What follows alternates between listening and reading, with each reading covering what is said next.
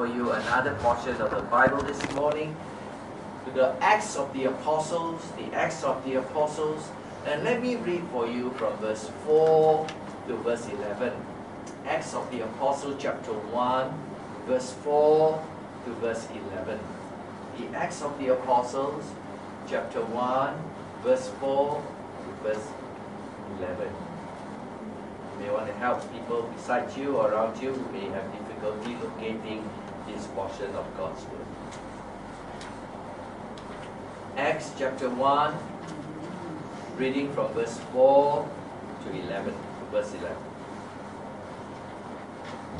The Holy Bible says, while he was with them, he commanded them not to leave Jerusalem, but to wait for the Father's promise, which he said, You have heard me speak about.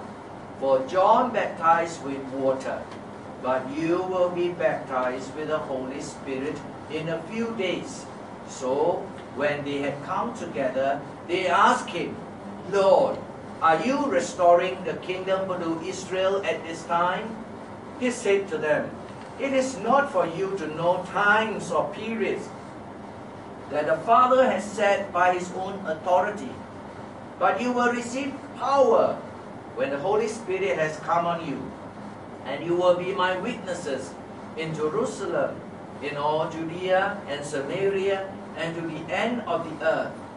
After he had said this, he was taken up as they were watching, and a cloud took him out of their sight. While he was going, they were gazing into heaven, and suddenly two men in white clothes stood by them. They said, Men of Galilee, why do you stand looking up into heaven? This same Jesus who has been taken from you into heaven will come in the same way that you have seen him going into heaven. This morning I call your attention to our sermon text, which is verse 8. But you will receive power when the Holy Spirit has come on you, and you will be my witnesses in Jerusalem, in all Judea, and Samaria, and to the end of the earth. Now, brothers and sisters, this is a very familiar verse. In fact, I have called your attention to this verse rather frequently in the past. And I make it a point, brothers and sisters, to call your attention again and again to return to this verse as we think of the verse and what the verse here tells you about you as a Christian. Now, it has always been my desire whenever I'm overseas to visit churches where God had done a special work in history. And recently I had the privilege to visit two of such churches. The first, the first church was pastored by a man of God, greatly used by God during the Second World War and the decades following it. That man of God was able to gather thousands of people to listen to the sermon, to listen to the Word of God every week throughout his life as a pastor of that church. In fact, as I was traveling and passing by that church building, brothers and sisters, I could still see the name of that church engraved permanently on the front part of that church building that is there in that city. However, brothers and sisters, it is no longer a place where thousands and thousands attended the meetings and listened to the Word of God. Why? Because the presence of God, the presence of God is no longer found in that place. The second church that I visited was a church pastored by another man of God in the late 1800s. He was like the first church pastor. He was able to gather thousands of people, including members of the British royal family, to hear the word of God being preached by him. However, when the current pastor was called to be the pastor of this church in the 1970s, the church had become less than 100 members. From the thousands and thousands it had gone down in size to less than 100. And when you look at the population at that point in time in the 1970s, you will realize that there were no young people. The hundred or less, they were all mainly old men and old women in the congregation of that church. And so much so, brothers and sisters, that when it was the winter months, they could not even pay for the heating of their worship hall. And then the current pastor had to make the decision to downsize the church hall in order that they could uh, keep everybody warm, especially during the winter months. That was how sad the situation had become. From the days of thousands, they had come down to old men and old women, less than a hundred people, brothers and sisters. Then God started to work again in that church. And when I visited the church this time round, I could see hundreds and hundreds of people. No longer only old men and old women, but young men and young women. They were the majority in that congregation that was pastored so many years ago by that man greatly used by God. Brothers and sisters, I saw the same wooden pews that people had sat on in the past and right now in the present time. The church was located in the same location and they were using the same buildings. There, the two churches using the same buildings and they even had the same name still being used by them. The difference is this, brothers and sisters, between these two churches the presence of God in the life and work of the church. A church can be doctrinally pure. But, brothers and sisters, there is no sense of God's presence in the midst of that congregation. There is rightly in our time a call to focus on doctrinal purity in the church. But, brothers and sisters, there is a need for us also at the very same time to focus on the presence of God in our lives and in our church work as well. And that is the reason why I've called your attention again to this verse found in Acts of the Apostles, chapter 1, and verse 8. And we realize here very immediately, I hope, you could see three lessons so clearly presented to you from this verse. The first, brothers and sisters, is that in this verse, you find a commission from our Lord. Look at what he says in this verse as he addresses people. You will be my witnesses. You will be my witnesses. You find here, brothers and sisters, a commission for Christians some would even say you find here another version of the Great Commission that elsewhere you would find, for example, in Matthew chapter 28. You find here a commission. A commission referred to the former selection of a people to do a special piece of work. That's what a commission is. You are set aside, you are called for a special task. God has assigned a special work to the Christians, as we find here being told by our Lord Jesus Christ. You find here a formal statement of a command to do something for our Lord Jesus Christ. You find here, brothers and sisters, a special assignment that is given to you if you are a Christian, if you call yourself Christian. This is the special assignment commission that the Lord Jesus Christ has appointed you. And so, brothers and sisters, you need to be reminded regularly of this. That as a Christian, you have been given a work to do in this world. As long as you live in this world, here is a commission a commission, a special task that God has assigned to you.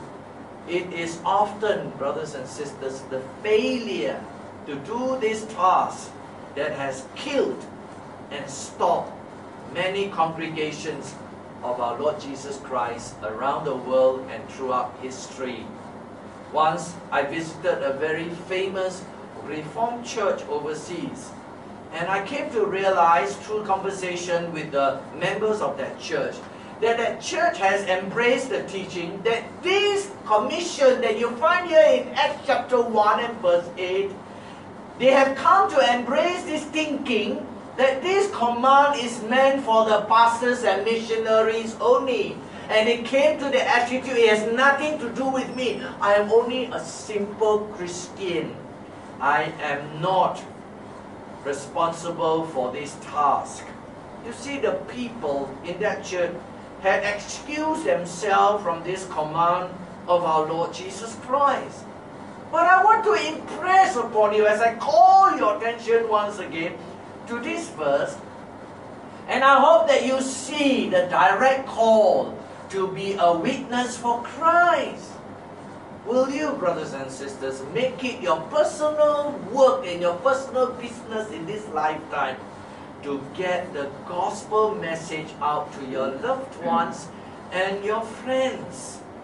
Charles Spurgeon, the pastor I was referring to in the second church, he wrote this. He said, I wonder how many Christians could have their lives condensed into this short sentence. He lived to make Christ known. She lived to make Christ known. Brothers and sisters, have you thought about this? How would you respond to what Spurgeon asked of you to think about? Could you say when you come to the end of your life, when you are going to leave this world to meet with God, could you say that you have lived your life on earth to make Christ known to others? Have you, brothers and sisters, since the time you became a Christian, have you ever spoken to someone else about the Lord Jesus Christ? Have you, have you invited someone to church with you?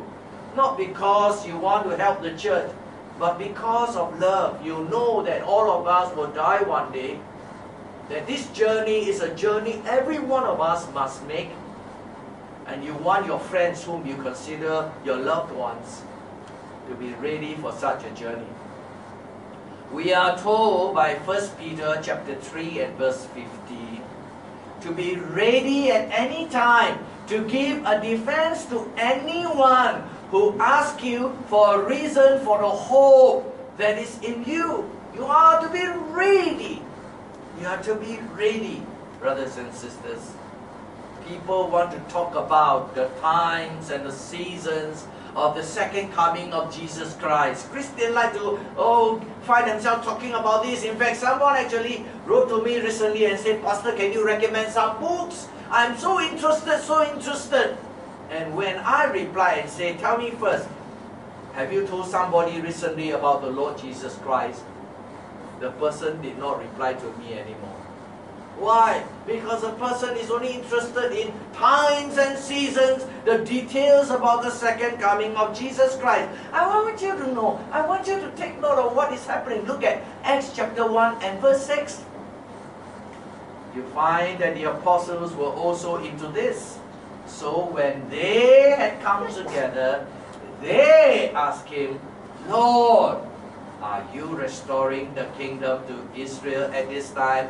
You see, we had the same kind of interest as human beings. But look at the response of our Lord.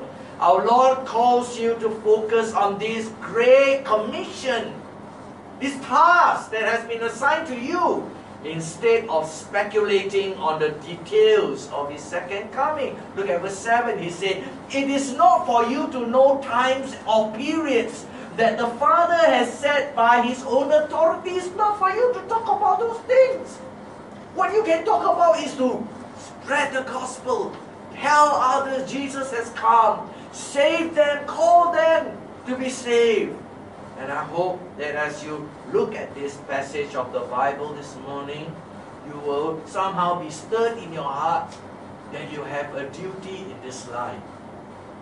You need to work. You need to do your business. You need to work hard. True, study hard also for those who are students. But beyond all these things, brothers and sisters, Almighty God has assigned to His people this special task that in everything we do, we want to advance the gospel. We want to save people. We want to make sure they are ready for this journey out of this world. Whether you want to admit it or not, whether you are willing to think about it or not, it will come. And this is a travel that we must make. And so the second point now I want to draw attention to is found in the same verse, brothers and sisters. You have seen that you are given a commission now look at the second thing you learn from this verse. God has given you a commission. It is a commission, a work that is beyond your human ability and gifts and power to do. And so God promised you the power to do it. Look at what it says. But you will receive power when the Holy Spirit has come on you. God gave you an assignment that is spiritual in nature. It is impossible for one person to try to convince another person about spiritual things. It is impossible to change a person's heart. It is impossible even to know what is truly in another person's heart.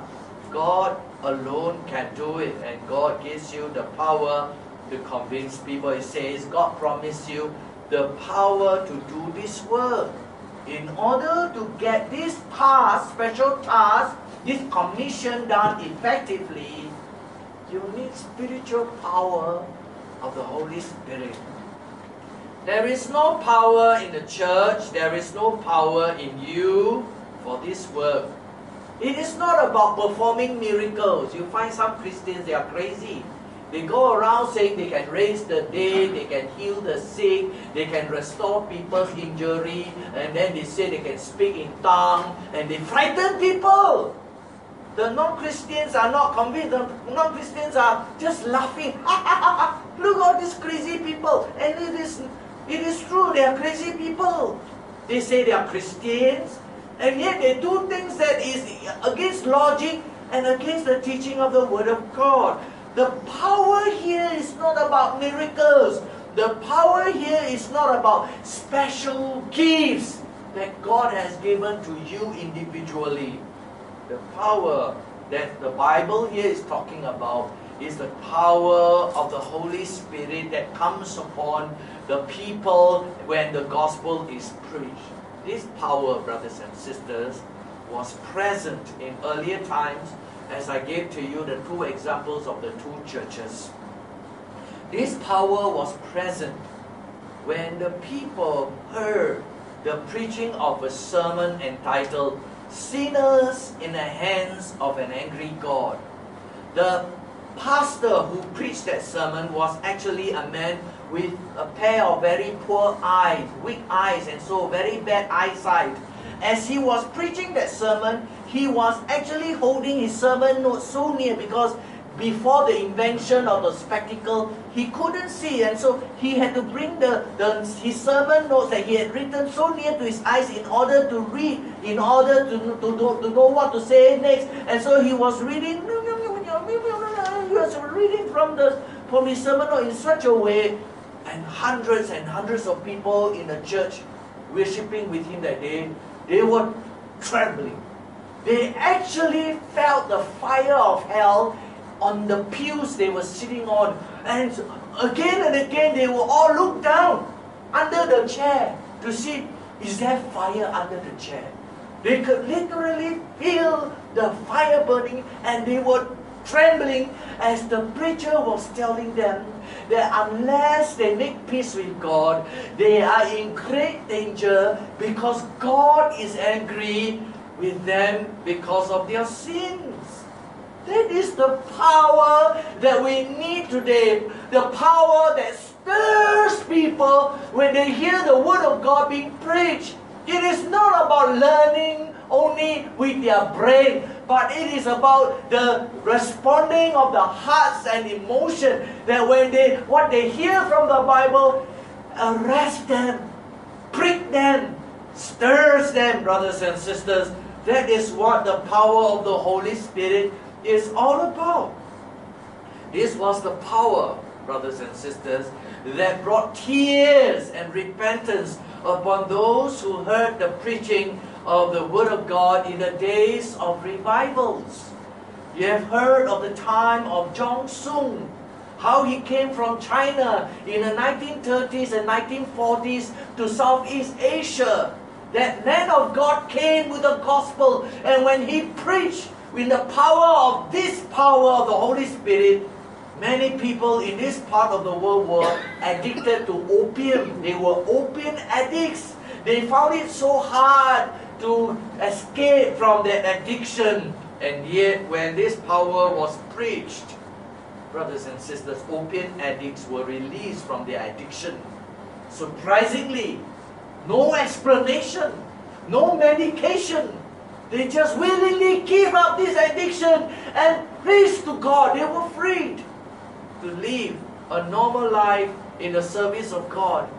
Many Chinese people in those days, they had second wife, third wife, fourth wife, polygamists with many wives, when they heard the preaching of John Sung, in the power of the Holy Spirit, as we are told here, they were willing to repent of their sins and they returned to their first wife and were faithful to their first wife to the day they died, brothers and sisters.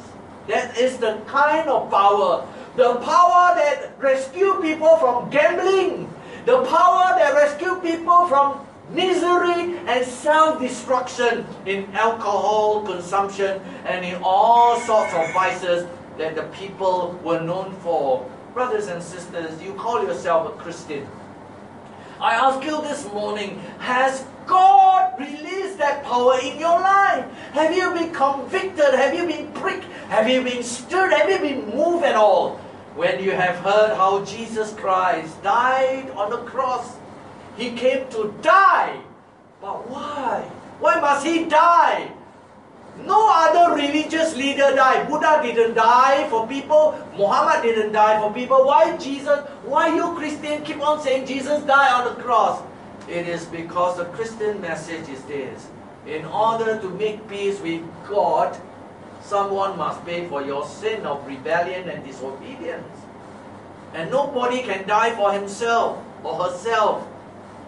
God has sent His only begotten Son that He should be the one who rescue and save people by giving his life for them in exchange with their, their life, brothers and sisters. And the church today need this power. We need to earnestly beg God that God will give us this promised power if we are to preach the gospel in such ability and effectiveness.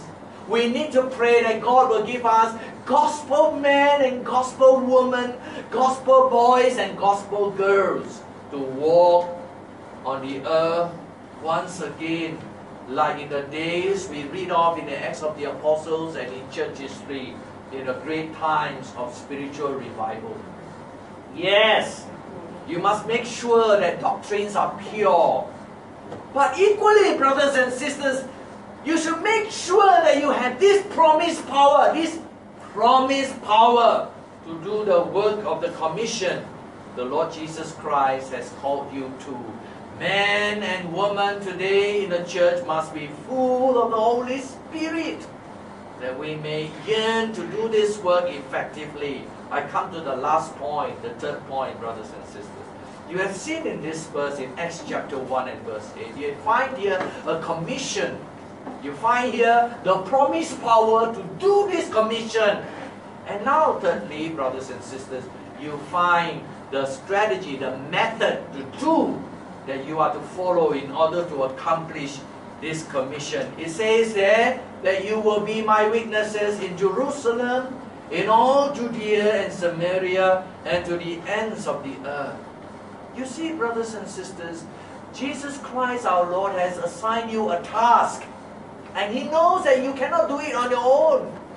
You have no ability. And so He promised you the power. He empower you with the Holy Spirit to do the work. And now He gives you the method as to how you are to begin and to complete this commission that He has assigned you. How you are to begin, how you are to progress and proceed in the completion of this work. The early Christians in the Acts of the Apostles, if you read this book, you realize that they started from their hometown, from their home, from their own family. And then slowly they reach out to their relatives, their uncles and aunties, their neighbors, and slowly, slowly they move outward and to the other towns and villages surrounding until they reach the end of the earth. And this task, as it, as it was assigned to the early Christian, they accomplished it as you read there how Paul started from Jerusalem and ended with him in Rome in the Acts of the Apostles chapter 28 which was at that point in time the heart of the Roman Empire. Today, you are to bring this same message and you are to bring it towards the end of the earth everywhere possible as much as you are able to fulfill it. Now, many people, when they read the Acts of the Apostles, they were puzzled why the early Christians kept to the Jews first before they reach out to the Gentiles. For example, if you look there at the Acts of the Apostles, chapter 11 and verse 19, you will find that we are, you are told that speaking the word to no one except Jews. Why except Jews? Then, if you go to the Acts of the Apostles, chapter 13 and verse 46, it says, It was necessary that the word of God be spoken to you first. You see that? The Jews first. Why the Jews first? Why must they be first? Well, the question is uh, often asked. It is because the Lord Jesus Christ gave this command and this strategy. You begin with the Jews first. Why? Because you start with those who will most likely listen to you and receive you. Often it is easier for you to talk to your family members than to a stranger at an MRT station. More often than not, when you have something important, when you want to discuss, when there is something that you are troubled and you want to talk to somebody, most likely your mother will be the first person you want to talk to. Ma, Mama, Mama, can I tell you something? I, I need help. And your mother will say, come, come, come, sit down. Why? What's, what's troubling you? How can I help you? And you talk to your father, your mother, your brother, sister, your uncle, auntie, your, your, your cousins, and then slowly, slowly, that's often how it starts. Strangely. When you a person say that he or she has become a Christian and get converted, when the person goes home, ayo, they not talk of, to anybody about this. Isn't there something very wrong about it? I have met with many Christians who have become insurance salesmen and saleswomen. And I often ask them, how did you practice? How come you are so good in selling insurance policy? How did you start? And they will always say, oh, someone recruited me, go through training, explain to me all the policies, and then help me. And then I will go back to my cousins, go back to my uncle and aunties, go back to my brothers and sisters, and try to sell them, talk to them, practice the process of uh, selling insurance and then often I succeeded. Then slowly with this experience, I go out and I talk to my colleagues and my ex-classmates and slowly, slowly I become more and more experienced. We always begin with the people we know so that we gain experience and then we can talk to others. Isn't it strange when we come to the things of God, we have this thinking, better not where I get into trouble. I want to ask you, brothers and sisters, to seriously think about this. Isn't there something strange and contradicting about this matter? I told you before in Malaysia some years ago, Pastor Bo Bun Seng, Pastor Bo Bun Seng in Kuala Lumpur printed 10,000 gospel tracts. 10,000 gospel tracts. And for three months, he asked his people every Sunday to go out in groups to the neighboring estates to distribute the 10,000 gospel tracts. And the purpose of the gospel tract was to invite people to come to their gospels meeting, the gospel rally that they were organizing. And so they went out week by week, they went out distributing and giving and this and that. And then the gospel, the day for the gospel rally came. Only one person came. And so they were all very curious. At least one person came, very good. Ha! Who gave you the gospel tract? Where did you stay? And this girl, 21, 22 years old, told the pastor, Pastor, I came because my brother invited me. Do you get a message? She didn't get a gospel tract. A, a stranger did not give her the gospel tract. That was not the reason why she came. She came because somebody she loved, somebody she knows who loved her, invited her. And I hope that you will do the same, brothers and sisters. If you really, really love somebody, if you really, really become convinced that that's the only way to save the person from hell, from separation from God, from a hopeless eternity after this world, will you not be moved and stirred? Will you not go and tell somebody? Will you not go and do your best? I told you before this true story of this engineer from Penang in Malaysia. He came to Singapore to work at Jurong East.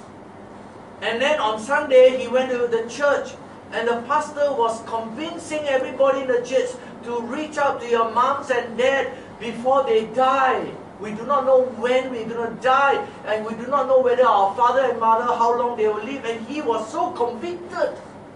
He couldn't sleep that Sunday night. He couldn't sleep. On Monday morning, he called up his office and he said, excuse me, I need to take emergency leave. And so he was granted the emergency leave. Early in the morning, he drove from Jurong East all the way back to Penang, nine hours of driving non-stop. When he went into his home, the father and mother was shocked to see the son coming back unannounced. So the mother thought, 死了, died, died sure got cancer, sure got serious thing, sure come back and say lost job, retrenched, or I got cancer, I'm going to die. So the mother, before anything, the mother was already going to cry. But the son went in and the son knelt down to the father and mother and said, Papa, Mama, I got something to tell you. The mother said, See, la, die, la, die, la. Really, I mean, you are, go- are you going to die? And the son said, No. This is what has happened, Papa, Mama. I want you to believe in Jesus Christ. Because my pastor told me yesterday, I cannot sleep the whole night. I think of you. That you go to hell, separated from God, and no peace and suffering, punished for your sin. Papa, Mama, I love you. Please come, join me and believe in the Lord Jesus Christ. The father had been silent throughout. Suddenly opened his mouth, like Chinese father normally be quiet. He says, son, if I mean so much to you that you are willing to drive from Singapore for nine hours straight, come back, just to tell me I must believe in your Jesus, or else I will die and die in hell. Son, I will believe in what you say, I will join you, because I know you really love me. Beloved brothers and sisters, we ask people to come and believe in Jesus not because we want their money, not because we want the church to have more. It is because we really believe it is the only way they can have peace with God and they can be ready to leave this world one day. And I hope that you have the same concern for your father and your mother, your brother and your sister, your sons and your daughters it is easier to witness to someone who has something in common with you, your colleagues. You just imagine this, brothers and sisters. You can go to your office, you can go anywhere in your office if you have the employee pass. You go there, you can go in. If you wait for your pastor, your pastor go down there, cannot go in. Why? I don't have the pass, cannot go in. I cannot talk to anybody in your office. You can. You can, you go in. And your colleagues, if they were to see me, they'll say, Who are you? I don't know you. But when they see you, they say, ah, I know you. Ah, let's go and have coffee, have lunch today. And therefore, brothers and sisters, it's easier for you to talk to your friends and your colleagues and your loved ones about the future world, about their soul, about their happiness, about peace with God, brothers and sisters. I was horrified recently, very scared, when I heard a young person in another church telling me that he planned, listen, he planned to stand outside the mosque on Friday after the Friday prayer and distribute gospel tract to people coming out of the mosque. And he was actually asking anybody want to join him to do that. I was horrified. You must have also heard of that man in the aeroplane with the guitar strumming and singing loudly and disturbing people who was sleeping with his so-called gospel song and, and annoying so many people. His pastor came out openly and said he was so brave. I ask you, brothers and sisters, you read that in the Bible? You find the Apostle Paul going to aeroplane and strum a guitar. Did he go to a mosque, go to a temple and go and make noise and disturb peace? It is always people who came after Paul. Paul never go and find problem. Why do you want to have all these things? When you had never seriously talked to your own father and mother, brother and sister, son and daughter about Jesus first. I always don't understand why people want to give thousands of dollars uh, to missionary in Africa when you never even help your own mother, father, uncle, auntie. Why you give money to other people when you never even help your own people? I think you are just being a hypocrite, isn't it? No, brothers and sisters. That is not how the Holy Spirit works, and that is not what the power of the Holy Spirit is all about. Look here and be reminded this morning that Jesus Christ has assigned you a special work. It is to be His witnesses. It is to witness. It means to say that you are going to tell people what Jesus has done for you, why you are a Christian, and what it means for to them and God knows that you have you are a coward if they're not. And that is why in the Acts of the Apostles you find the early Christian asking God for boldness.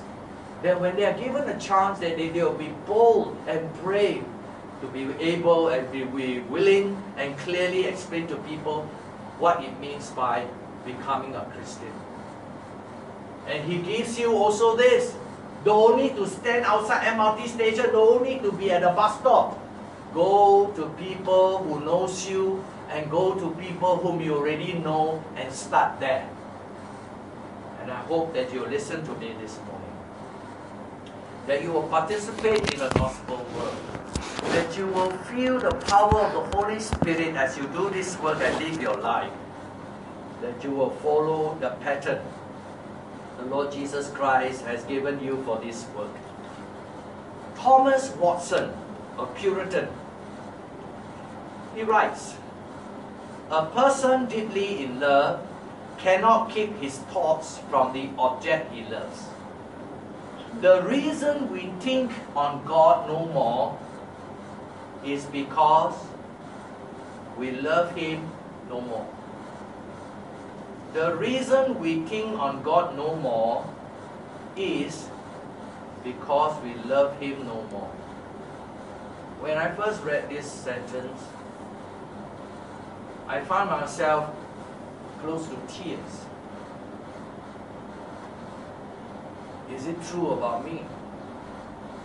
The reason we think on God no more is because we love Him no more. What about you, brothers and sisters? You have stopped telling people about Him. You have stopped reading the Bible every day you have become distracted by so many things in this world. You have no time for God. Is it because you think on God no more because you love Him no more? Repent, brothers and sisters. come, return to the Lord, and may you find His forgiveness as you begin once again to love the Lord. Let us pray.